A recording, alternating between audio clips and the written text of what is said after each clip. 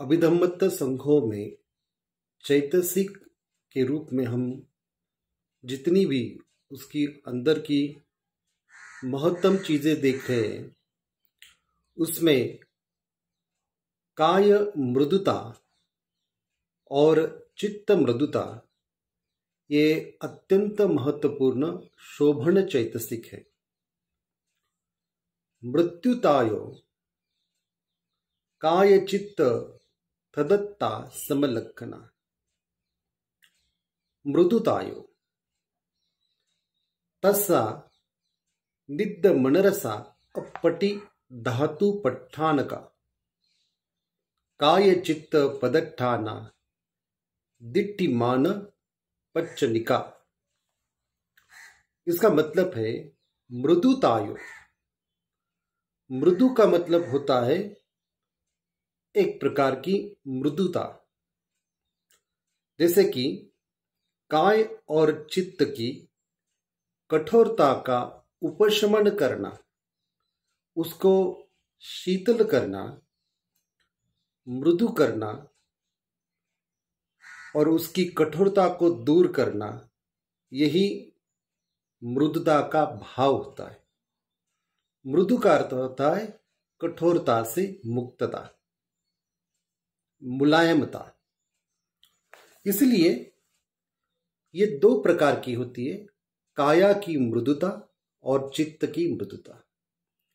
जैसे हम विपशना ध्यान करते हैं तो विपशना ध्यान में जैसे जैसे हम हमारी संवेदना को देखते हैं और संवेदना को देखते समय शरीर का जो कठोर स्थूल भाव जो बना रहता है जिस जगह पर हम अधिक सूक्ष्मता से ध्यान करने से उसकी कठोरता दूर होती है और एक प्रकार की मुलायम मृदुता वहाँ पर निर्मित होती है। ये काय के जगह पर भी होती है और चित्त की अवस्था में भी ये बनी रहती है। तभी इसको काय चित्त थद्दता समलक्षणा कहते हैं।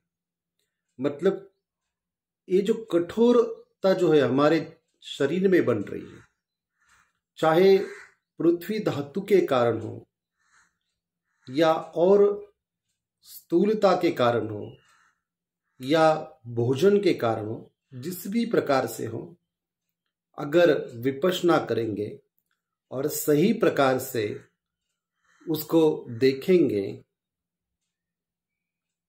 तब संवेदना का जो सूक्ष्मतम स्वरूप है, वो सूक्ष्मतम स्वरूप यहाँ पर हमारे शरीर की अंदरता की जो कठोरता होती है, जो भी इस साधना में आगे बढ़ते उनको अधिक अधिक इसमें अनुभूत होती है। वैसी बात, वैसी चीज़, वैसी अनुभूति, यही हमारी कठोरता का उपशमन करना है।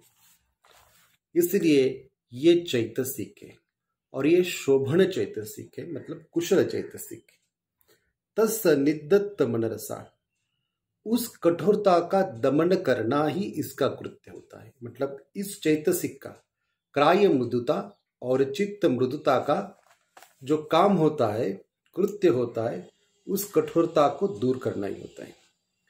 दुष्टि एवं मान प्रधान अकुशल चित्तोत्पाद, आत्मानिविवेश अस्मिमान आदि से युक्त होने के कारण किसी को भी परवाह नहीं करते, जैसे कोई सेनापति शत्रुओं के मध्य में जाकर भी उनकी परवाह नहीं करता, इसी प्रकार की किसी भी परवाह न करने की अत्यंत थद्द या कठोर जो बनते हैं या होते हैं, वो शोभन धर्म इन दृष्टिमान आदि अकुशल धर्मों से संपृक्त नहीं होते।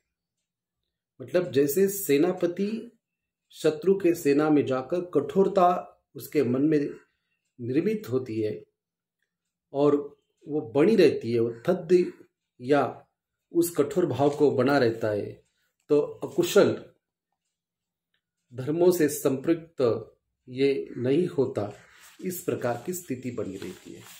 साथ ही जो स्थिति बनी रहती है, वो अत्यंत मृदु होती है। जैसे इस चैतसिक का अगर हम काम करेंगे तो कोई भी अभिमान या अस्मितामान, इस प्रकार की जो भावदशा मन में पैदा होती है तो उसमें भी चित्त का मृदु बनना, काया का मृदु बनना यह प्रक्रिया होती रहती है। काय मृदुता चैतसिक स्कंद की कठोरता का दमन करती है। अंत चैतसिक स्कंद का मृदु होना काय मृदुता कहते हैं। चित्त मृदुता की कठोरता का चित्त मृदुता दमन करती है, अंत चित्त का मृदु होना चित्त मृदुता कहलाता है। जिन पुद्गलों में ये मृदुता दुर्बल होती है, उनका चित्र शत्रु सेना के मध्य में गए सेनापति की भांति होता है, जो कुशल कर्मों के प्रति अत्यंत कठोर होता है, जिसमें ये मृदुताएँ बलवती होती है, उनका चित्त जातु बंधु के मध्य में आए हुए सेनापति के भांति होता है, जो कुशल बंधु के मध्य आए सेनापति की भांति होता है, जो कुशल कर्मों के प्रति प्रवण करता है, और इस प्रवणता का वो कृत्य बना रहता है। मतलब जैसे कोई सेनापति शत्रु की सेना में या अपनी सेना में किसी भी प्रकार की मृदुता नहीं दिखलाता। चाहे कोई भी मरे या कोई भी समाप्त हो, उसको कोई फ़र्क नहीं पड़ता। लेकिन जिसके मन में कुशल चित्त चैतसिक भावना जो होती है, वो मृदु भाव की होती है तो उनका चित्त शत्रु के सामने दुर्बल नहीं बना रहता, उतना ही सतेज रहता है और अपने जाति बंधुओं के साथ भी वो एक प्रकार की मृदा की भावना से बना रहता है। इसलिए उस कुशल कर्मों का प्रवण करना ही उसका कार्य बनता है। इसका जो प्रतिपस्थान जो होता है, वो अपटी धातु पट्ठान मतलब शोभन अलम्बों में अप्रतिघात, इसका मतलब होता है अबाधन मतलब अनुलोम। अनुलोम स्वभाव वाले ये धर्म होते ये विपसना साधना करने वाले साधक जो अत्यंत उच्च अवस्था को प्राप्त हुए हैं, उनके ज्ञान में अवभाषित होता है। वैसे काय चित्त पदठाना मतलब चैतसिक समूह जो है, काय का, और चित्त उसका आसन्न कारण होता है। चित्त मतलब काया का चैतसिक जो है, उसी कारण, उसका आसन्न कारण चित्त बना रहता है। दिट्टिमान प्रचनिका ये मृदुताएँ दृष्टिमान प्रधान क्लेश धर्म का प्रतिपक्ष होता है। इन मृदुताओं के बल से रूप काय मतलब शरीर भी मृदु होता है। जैसे शांत एवं निरअभिमानी बलवान पुद्गल की आकृति मृदु होती है। जैसे कोई शांत और निरअभिमानी बलवान पुरुष जो होता है, उसकी आकृति मृदु मतलब अंदर से वो कोई भी प्रकार का प्रभाव उसके मन में नहीं होता। कोई भी कठोरता उसके मन में नहीं होती। एक प्रकार की मृदुता बनी रहती है। एक प्रकार के विकारों से मुक्त होने की प्रक्रिया की क्रिया उसमें बनी रहती है।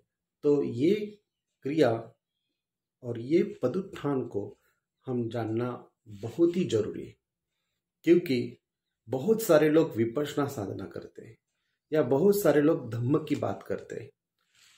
विपसना साधना करते समय हम कहाँ पर है और किस प्रकार है और कौन सी क्रिया को कर रहे हैं, इसी को सही प्रकार से जानना ज़रूरी है। बहुत सारे लोग उसके बारे में तो बात करते हैं, लेकिन जो अंदर की सूक्ष्मतम प्रक्रिया जो हो रही है, उस प्रक्रिया को वो नहीं जानते। वो केवल साधना करते और संवेदना को जानते रहते और संवेदनाओं का खेल खेलते रहते लेकिन कठोरता, मृदुता या भार से मुक्त होने की प्रक्रिया, किसी भी प्रकार का वज़न शरीर के अंदर से मुक्त होने की प्रक्रिया, इसको क्या क्या संबोधित किया जाता है, ये इस अभिधम्म की सब श्रृंखला में या अभिधम्म में बहुत ही स्पष्टीकरण से या बहुत विश्लेषणात्मक क्रिया से उसका पृथकरण करके बताया है।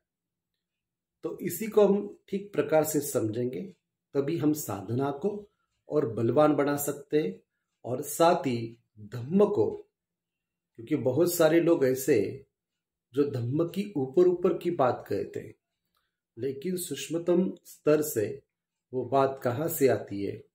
वो बात बुद्ध की जो अपनी अनुभूति से आती है उस अनुभूति को न जानते समय या उस अवस्था को न जानते समय ऊपर ऊपर की बातों में लोग लगे रहते, इसी कारण उनको भी इन बातों को समझ में नहीं आता। इसलिए इसे सूक्ष्मतम ढंग से जानना होगा और इसलिए हमें अभिधम्भ संघो इस अभिधम्भ पीटक को जानने के लिए जो आवश्यक ग्रंथ है, इस ग्रंथ का अध्यापन करना होगा। तो इसे हम जानेंगे। काय मृदुता और चित्त मृदुता ये दो शोभन चेतसिक है इन दो शोभन चेतसिक से हम अपनी साधना में अग्रसर हो सकते और धम्म को सही प्रकार से जानने की प्रक्रिया कर सकते हैं। धन्यवाद।